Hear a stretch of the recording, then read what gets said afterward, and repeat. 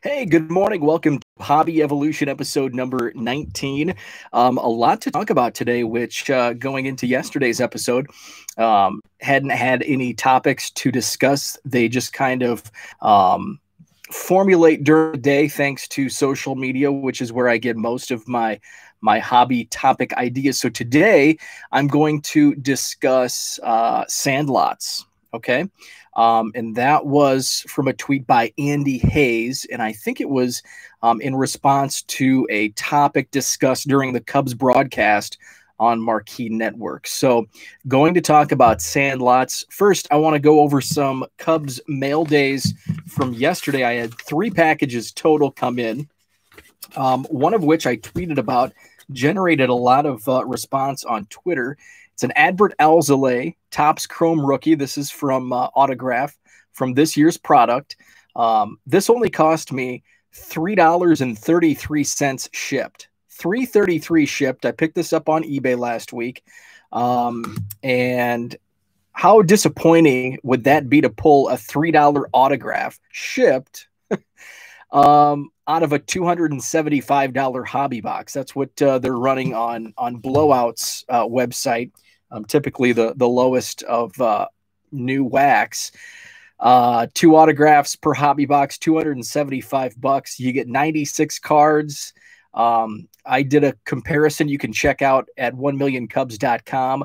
Um, I ended up purchasing about $240 worth of, of retail Topps Chrome. I did pull two autos. Um, and you get a lot of refractors. There's a lot of bang for your buck at retail um, whereas one hobby box, you get two autos. They could be a $3 autograph. You get 96 cards. In the 240 I spent $35 less. Um, I uh, received about 350 cards um, for that 240 plus the the hits I received. So that's why I think retail right now, if you can find it, is obviously the biggest bang for your buck. Also, my buddy Zach, um, I know him and his son Porter received my trade package yesterday, and I received uh, a package from him. He found some 8 by 10s These are super cool. 8 by 10 photos. Uh, I think a relative, he said, a relative or a friend took these uh, from a game. So this would have been, it's Greg Maddux and Rick Sutcliffe. So late 80s, early 90s. These are sweet. Um, I love autographs, obviously. Uh, baseballs are kind of my number one. Baseball cards, Cubs, obviously, my number one collection. Number two, signed baseballs of Cubs. And then if I run out of, of, of those things to sign, then I go the 8 by 10 route. These would look pretty sweet signed. I know Greg Maddux is a tough sign, and he's really expensive if you catch him at a show. So um, they may just go in a binder um, like that. But 8 by 10s awesome. Thank you, Zach and Porter, for those cool 8 by 10s Brews and Breaks sent me a small flat rate box. Have not opened this.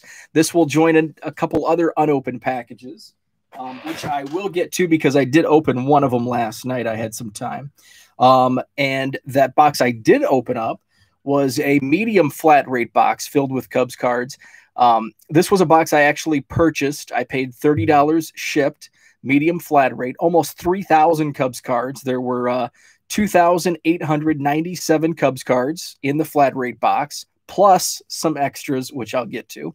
Um, so that bumps my uh, total Cubs count to 477,084. 477,84. Um, that's counted so far. Um, I still have a large flat rate box, so probably around 3,000, 3,500 in there.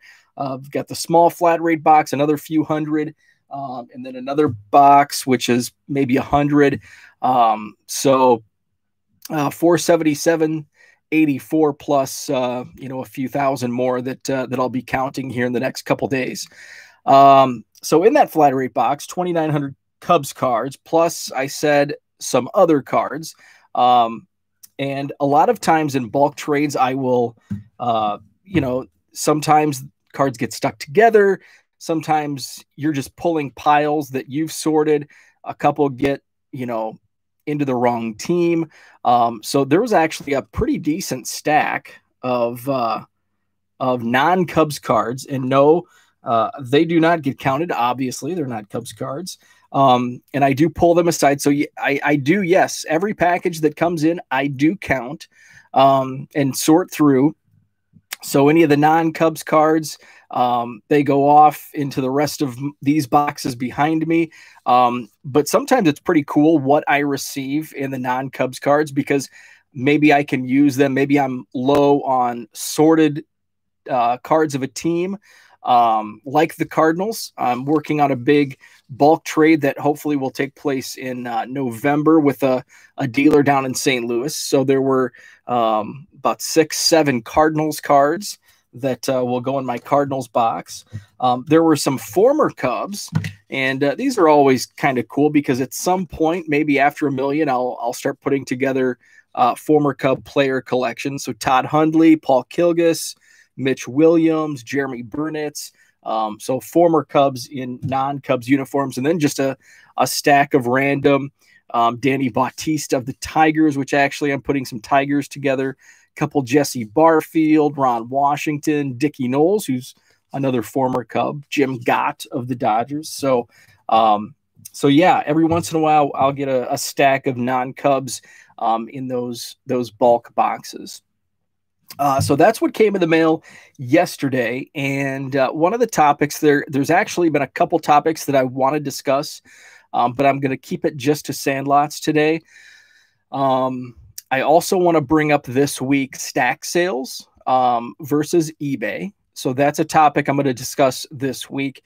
Um, and then another topic that just kind of came to mind last night um, was people that want to, and this is kind of on the sales end as well, um, want to turn their part-time hustle, side side hustle, hobby into an actual card shop business. So I want to give my thoughts on that topic this week as well. So I'm going to keep it to one topic today, and that's on growing up playing sandlot baseball. Andy Hayes um, actually grew up not far from where I grew up in in Illinois. He actually reached out to me after I posted the uh, Earl Cunningham article um, because my Earl Cunningham autograph.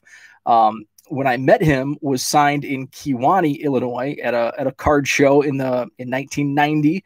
Um, and Andy told me his wife grew up in Kewanee as well, and, and he grew up not far from Kewanee. Um, so he posted on Twitter last night um, and it was actually cool. It was like a Google image, Google Earth image of uh, a, lot in his small hometown, um, and he's got it marked off with you know the the blind do- German Shepherd dog roamed here. Uh, this was an old house that's been torn down. We thought was haunted.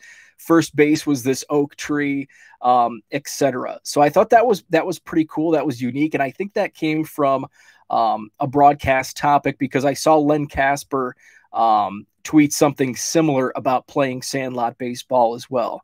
Um, I wish I had a cool memory like Andy on my sandlot growing up. We didn't play too much sandlot baseball as a kid.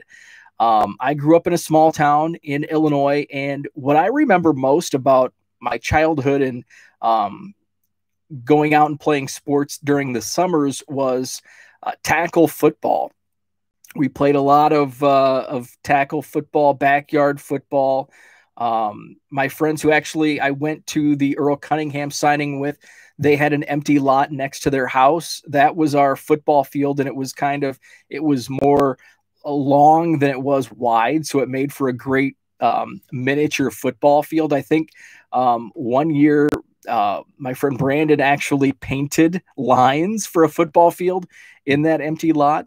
Um, but in the fall or spring, I, I, don't, whenever walnuts fall, there was a big walnut tree at the end, and I think that served as our end zone. Um, when the walnuts fell, it hurt.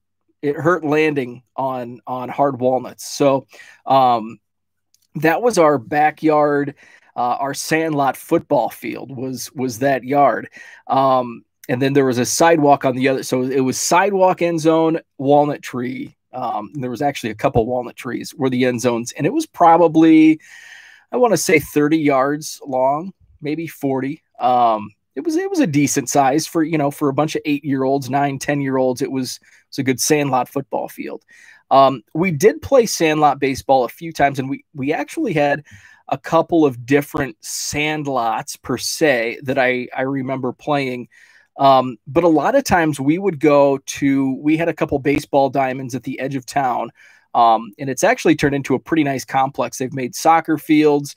They've added another baseball diamond, so I think there's three total. Um, but we would go out there and play.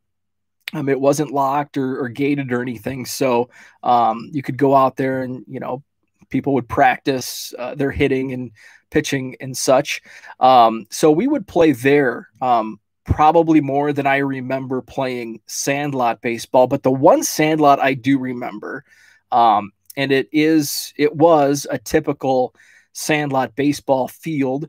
Um, right in the center of town, there was a, a big empty lot. And it was empty because it used to home the high school um, up until the 1950s. And I, I don't know if it was a fire or if it was just old age, but um, the high school was torn down at some point in the, the might have been later on because I think it did serve as a grade school. So ignore that. But uh, it was the high school until the 50s and until they built a new high school in town.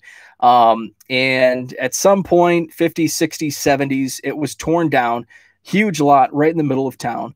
Um, so we would play our sandlot baseball in the late 80s, early 90s. Um, we would have some games on on that big lot um, in the southwest corner of the lot there were a few trees. There was a huge, I don't know if it's oak, maple, whatever, a huge tree. So that served as kind of the backstop home plate.